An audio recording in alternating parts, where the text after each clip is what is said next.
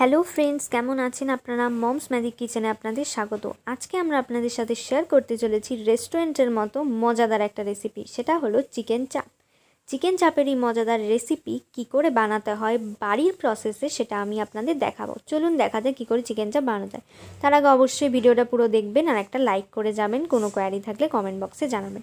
সবার ফার্স্টে আমরা মিক্সিং বললে দুটো পেঁয়াজ নিয়েছি, সেগুলোকে টুকরো টুকরো করে কেটে নিলাম। তারপর আমরা এর মধ্যে দেবো রসুন আর আদা কুচি দিয়ে দিয়েছি। এবার আমরা এর মধ্যে দেবো পোস্ত। এক প্যাকেট মতো পোস্ত দিয়ে দিয়েছি। তারপর আমরা এর মধ্যে দেবো চিনে বাদাম। মেনলি কাঁচা বাদাম এটা, সেটা আমরা দিয়ে দিচ্ছি এর মধ্যে। তারপর আমরা এর মধ্যে দেবো হচ্ছে কাজু বাদাম আর দেব কিশমিশ। কিশমিশ দেওয়া হয়ে গেছে। এবার আমাদের এর মধ্যে অ্যাড করতে হবে হচ্ছে চালমুখ। তো চালমুখ অনেকটা পরিমাণে নিয়েছি, আপনারা দেখে নেবেন আর সামরিচ দিলাম, দেওয়ার পর এর মধ্যে সামান্য জল দিয়ে এটাকে আমরা হালকা মতো পেস্ট করে নেব, আধা আধা পেস্ট হালকা পেস্ট হয়ে গেলে এবার আমরা ওটাকে নামিয়ে নিয়ে একশো গ্রাম মতো টক দই দেবো, দিয়ে এটাকে এবার আমরা ফুল পেস্ট করব। পুরো পেস্ট হয়ে যাওয়ার পর এবার আমরা আরও কয়েকটা মশলার মধ্যে অ্যাড করব। চারটে মতো এলাচ দিয়েছি আমরা, মাঝখান দিয়ে টুকরো করে তিন চারটে মতো লবঙ্গ দিয়েছি, আর তিন চারটে মতো দারচিনি আমরা এর মধ্যে দেবো দারচিনিগুলো ভেঙে ভেঙে দিয়েছি, দেওয়া হয়ে গেলে এবার এর মধ্যে আমরা জায়ফল আর জৈত্রী দিয়ে দিলাম একবারই, দেওয়া হয়ে গেলে এটা আমরা পেস্টটা মুখ বন্ধ করে দেবো, আবার ভালো মতো পেস্ট করে নেব, পুরো ভালো প্রপার পেস্ট হয়ে গেছে, এবার আমরা এটাকে সরিয়ে রাখব, ততক্ষণে আমরা চিকেনটা নিয়ে নিয়েছি, প্রায় এক থেকে দেড় কিলো মতো আমরা চিকেন নিয়েছি, সেটা ভালো করে ধুয়ে নিয়েছি, এর মধ্যে আমরা পেস্টটা দিয়ে দেবো, এই পেস্ট দেওয়া হয়ে গেলে এবার আমরা এর ওপর দিয়ে লবণ দেবো, দু থেকে তিন চামচ মতো লবণ দেবো, আপনার পরিমাণ মতো লবণ দেবে আর চার পাঁচ চামচ মতো লঙ্কার গুঁড়ো দিয়ে দেবো রেড চিলি পাউডার যাতে এটা ঝাল আসে। আর একটুখানি ফুড কালার দেব, যাতে একটা কালার আসে, যেটাতে চিকেন চাপের রেসিপি বোঝা যায়। আর চিনি দিলাম সামান্য পরিমাণ, আর দিলাম গোলমরিচের গুঁড়ো। আর গরম মশলা দিয়ে ভালো করে এবার আমরা এটাকে মিক্স করে নেব। এবার আমরা ওপর দিয়ে একটু হলুদ ছড়িয়ে দিলাম, দু চামচ মতো। আপনারা না দিলেও পারেন, কারণ আমরা অলরেডি কালার দিয়েছি। দিয়ে ভালো করে মিক্স করা হলে এটাকে আমরা বক্সটাকে বন্ধ করে এক ঘণ্টার মতো রেখে দেবো। এবার আমরা কড়াইতে সর্ষের তেল দিয়ে দিয়েছি আর আমরা বক্সটাকে খুলে নিয়েছি। তেল আমরা প্রায় দুশো গ্রাম মতো তেল দিয়েছি। তার মধ্যে এবার চিকেনগুলো আমরা পরপর একটা একটা করে ছেড়ে দিচ্ছি। চিকেনগুলো ভাজা ভাজা হবে, যার জন্য আমরা এগুলোকে ছেড়ে দিচ্ছি এক এক করে। পরপর চিকেনগুলোকে ছেড়ে দেবো। আর এগুলো এই গ্রেভি সমেতই মিক্সড হয়ে রয়েছে। এই এই গ্রেভি সমেতই এটা ভাজা ভাজা হবে।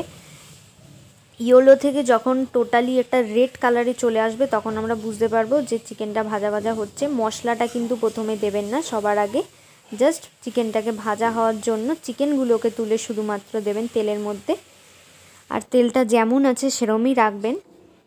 কারণ চিকেন চাপের রেসিপি মানে একদিকে তেল থাকবে, আরেকদিকে গ্রেভি আসবে। চিকেনের একটা দুটো ভালো কম্বিনেশান হবে। এইভাবে আমরা রেখে দেবো। অনেকক্ষণ প্রায় আধ ঘণ্টা পর ভাজা ভাজা হয়ে গেলে তখন আমরা দেখতে পাবো যে এটার কালারটা মানে রেডের দিকে প্রায় রেডিশ রেডিশ হয়ে আসছে। তেলটাও দেখে বোঝা যাচ্ছে যে অনেকটাই ভাজা ভাজা হয়ে গেছে পুরো চিকেনটা আমাদের। তখন আমরা এর মধ্যে এবার পোস্তর যে আমরা, আমাদের যে পেস্টটা ছিল টোটাল সেই পেস্টটা আমরা এর মধ্যে দিয়ে দেবো। দিয়ে আমরা এইভাবে চেপে চেপে রেখে দেবো। তাতে এটা কিছুক্ষণের জন্য মানে সেদ্ধ হয়ে যায় চিকেনটা। ততক্ষণে আমরা একটা বোলের মধ্যে ভিনিগার দেবো এক চামচ আর এক চামচ দেবো রোজ ওয়াটার, গোলাপ জল। সেইটাকে এবার আমরা এর মধ্যে দিয়ে দেবো। এটা দিয়ে দিয়েছি আমরা এর মধ্যে। দেওয়া হয়ে গেলে আমরা এবার এটাকে চিকেনগুলোকে সেদ্ধ হওয়ার জন্য দেবো আর মশলাটাকে ভালো করে গ্রেভি হওয়ার জন্য দেবো। ততক্ষণে ওপর দিয়ে আমরা জাফরান ছড়িয়ে দিলাম। জাফরানের একটা কালার আসে। আপনারা জানেন দুধের মধ্যে জাফরান দিলে সেটা হোয়াইট টু ইয়েলো একটা কালার চেঞ্জিং ফর্ম করে। সেই হিসাবে আমরা এখানে কালার চেঞ্জিংয়ের জন্য একটা দিলাম। তো এইভাবে আমরা দিয়ে রেখে দিয়েছি। এইভাবে আমরা এটাকে রেখে দেবো। প্রায় কুড়ি থেকে পঁচিশ মিনিট মতো আমরা ঢাকনা দিয়ে রেখে দেবো। প্রায় কুড়ি পঁচিশ মিনিট পর ঢাকনা খুলে আমরা দেখতে পাবো যে চিকেনগুলো সেদ্ধ হয়ে গেছে। আর তেলটাও ফুটছে আর গ্রেভিটাও ভালো ভালো মতো কষে গেছে। আমরা হাত দিয়ে ভালো করে নাড়িয়ে দেবো। ভালো করে এটাকে নাড়িয়ে নিতে হবে, হালকা আছে। এবার আমরা ভলিউমটাকে বাড়িয়ে দেবো গ্যাসের। আর তারপর আরও পাঁচ মিনিট পর রেখে দেবো, এইভাবে কষতে দেবো। কষতে দিলেই আমাদের চিকেনের চাপ রেডি। রেস্টুরেন্টের মতো আমাদের ঘরে চিকেনের চাপ রেডি হয়ে গেছে। আমরা সেটাকে এবার সার্ভ করে নেব। আমাদের রেসিপিটা টোটালি রেডি। আমরা এটাকে সার্ভ করে নিয়েছি আমাদের বোলের মধ্যে। আপনারা দেখতেই পাচ্ছেন লেগ পিসগুলো দেখা যাচ্ছে চিকেনের চাপের তেলও রয়েছে, ভালো মতো বেকটো হয়ে গেছে, সেদ্ধ হয়েছে, ভাজা হয়েছে, খুব সুন্দর একটা স্মেল আসছে আর দেখতে খুবই সুন্দর লাগছে। আপনার এটাকে বিরিয়ানির সাথে ফ্রাইড রাইসের সাথে বা পোলাওয়ের সাথে অবভিয়াসলি সার্ভ করে খেতে পারেন আর রুটি পরোটা অবভিয়াসলি খেতে পারেন। তো বাড়িতে এই রেসিপিটা অবশ্যই ট্রাই করবেন।